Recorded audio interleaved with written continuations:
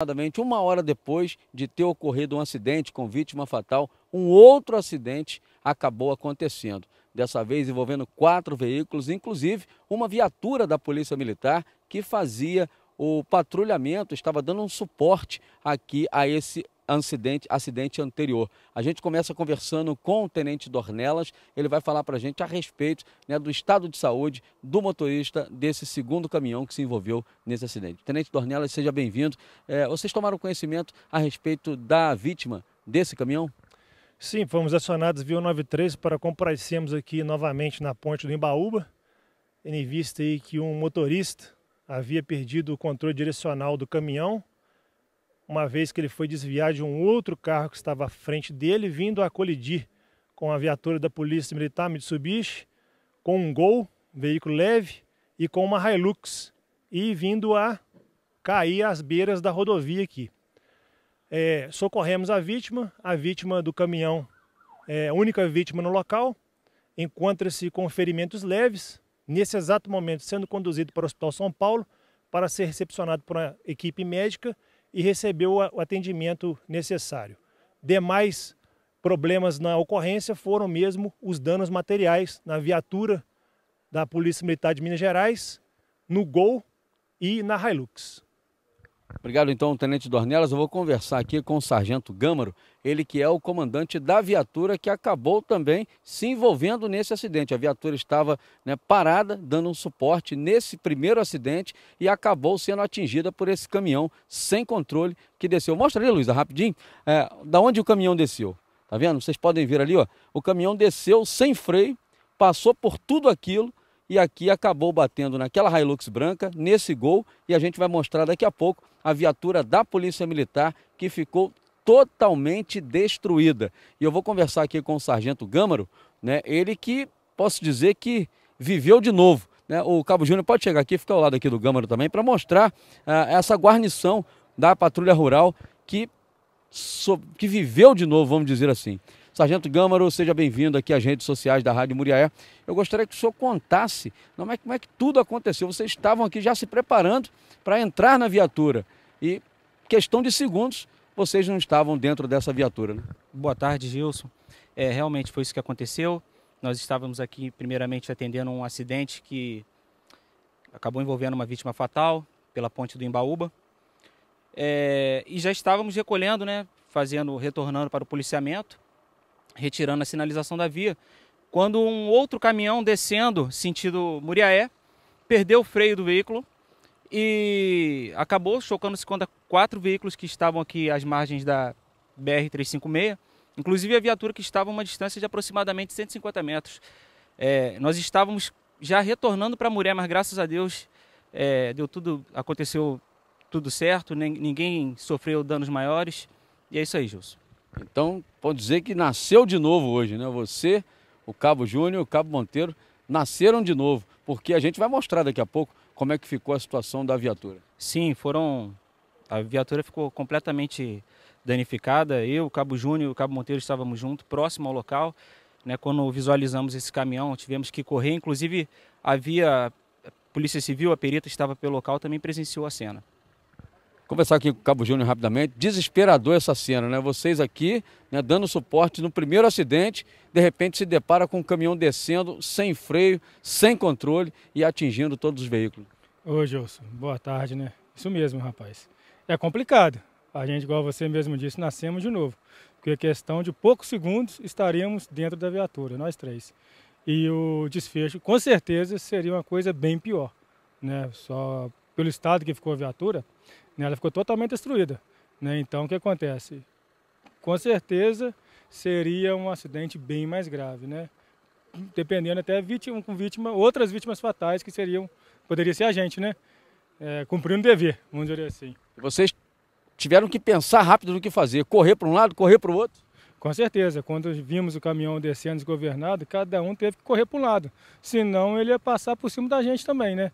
Nós, estava a perícia, tinha uma motocicleta vindo também, que as meninas com duas mulheres, né? Que passaram aperto também, coitadas.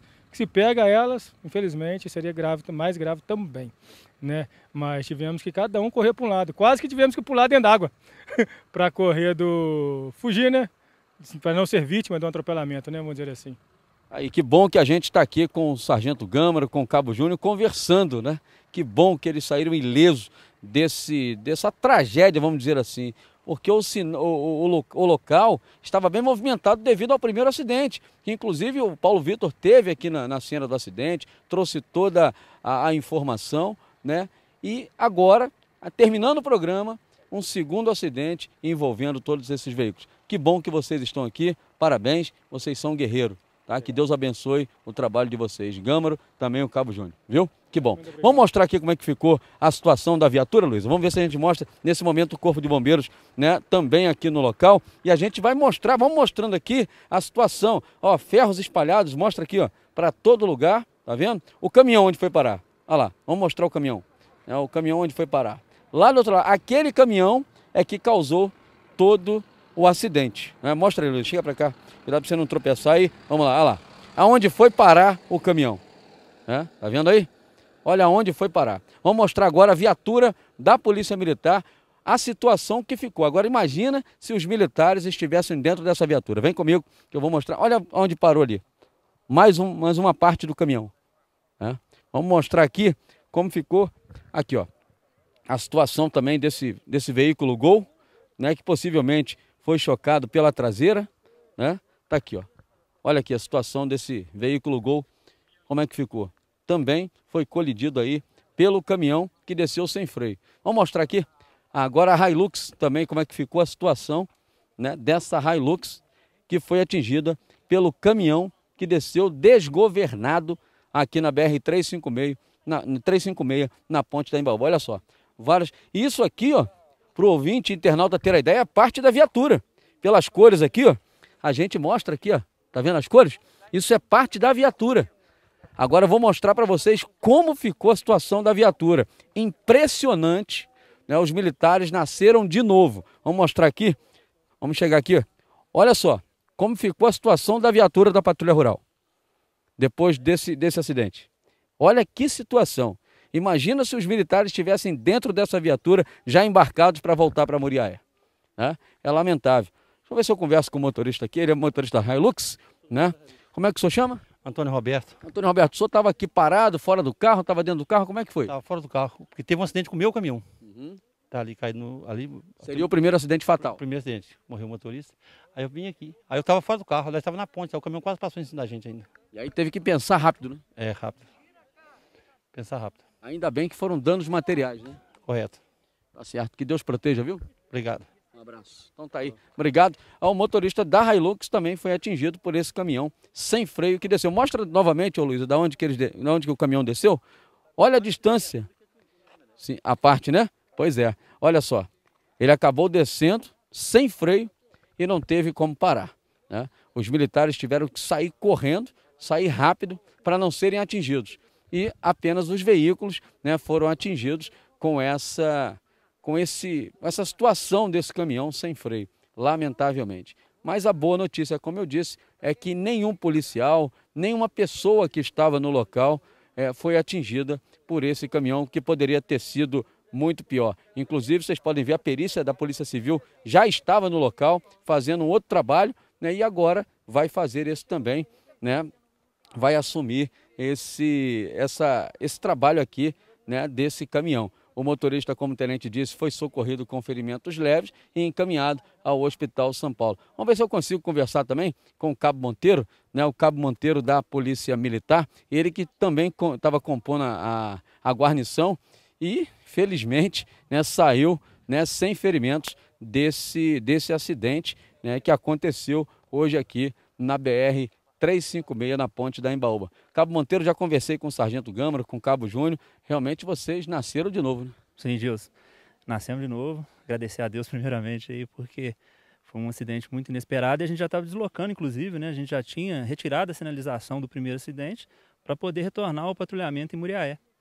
Quando fomos surpreendidos, né, por esse caminhão desgovernado aí, e graças a Deus deu tempo da gente pular ali no, no canto ali perto do rio, em tempo de cair até dentro da água também. Foi o único lugar, né? E de não estar dentro da viatura que que era o que a gente era o trânsito que a gente estava tá, fazendo no momento, né? A gente estava deslocando para a viatura para retornar para Moriaé. Então assim foi um susto, né? Mas fica é, fica a lembrança aí da ponte do Embaúba aqui, né? Nós já viemos, perdemos, infelizmente, perdemos uma vida hoje aqui do, do primeiro acidente, do caminhoneiro. E olha, logo em seguida acontece uma situação dessa. Então, é, é um sinal que tem que ser visto com, com respeito, com cuidado aos condutores que transitam aqui. Aqui é uma passagem para a cidade de Belo Horizonte, para a capital do estado. Então é importante é, o pessoal dar uma, uma verificada com calma aí, o que pode ser feito para evitar situações dessas. A gente sabe que tem muitas autoridades que passam, que usam essa via aqui e poderiam dar uma atenção especial, porque só hoje, quarta-feira, nós tivemos dois acidentes em menos de, um, em menos de uma hora. Né? Em menos de uma hora, dois acidentes gravíssimos aqui. Exatamente, dois acidentes gravíssimos, né? Um, infelizmente, vindo na óbito o condutor e o outro livramento, como você mesmo citou, né, Gilson? Então, o pessoal ficar, é, ficar atento, né? Ver o que, que pode ser feito nisso aqui, tem que ser olhado com cuidado. Porque hoje, é, eu te falo um pouco como vítima também, né? A gente tem mania de chegar, no, igual no primeiro acidente, chega, toma as providências legais, apoia as, os condutores, as vítimas, né? Mas a gente não espera que possa acontecer isso com a gente, né? Então, assim, é o que acontece quando você citou que várias autoridades passam aqui, né? Não é autoridade, é qualquer pessoa que passa na via. Então, precisa ser olhado com carinho. Mas eu disse autoridade principalmente Sim. porque elas podem tomar a providência. Exatamente, está na mão delas, né, Gilson? De, de poder correr atrás e fazer alguma coisa para que mais vidas não sejam ceifadas aqui nesse trecho. É um alívio? Um alívio. Podemos respirar fundo? Podemos. Ainda a gente está meio, meio assustado ainda, mas está dando para agradecer mais a Deus primeiro, né? Primeiro que bom que a gente, eu falava aqui, que bom que a gente está podendo conversar. Sim. Né? Tá aqui o Sargento Gâmara, o Cabo Júnior, e você que é um grande amigo, uma pessoa que eu tenho assim uma estima muito grande, você sabe da nossa amizade, e eu fico muito feliz de você estar tá aqui né, para servir a população, não ter sido vítima desse terrível acidente aqui na Ponte da Embaúba. Sim, ah, obrigado por, pela amizade sempre. A gente até ia no seu programa, né? A gente não teve hoje no, no programa do Gilson por causa desse primeiro acidente, né? E graças a Deus você está fazendo a entrevista aqui completa com a gente, é, sã e salvo, né? Então, é, muito obrigado mesmo pelo apoio de sempre, tá? E vamos que vamos. Eu fiz questão de conversar com os três da guarnição, porque foram salvos. Foi livramento de Deus. Né? Muitas das vezes a gente não sabe, não tem resposta para as coisas, né? Mas Deus faz as coisas certas no local certo. Né? Então tá aí, prova viva, testemunha viva eles presenciaram todo o acidente. Sargento Gâmaro, guarde bem essa guarnição. Sargento Gâmaro, Cabo Monteiro e Cabo Júnior. Livramento hoje aqui na BR 356, na ponte da Embaúba.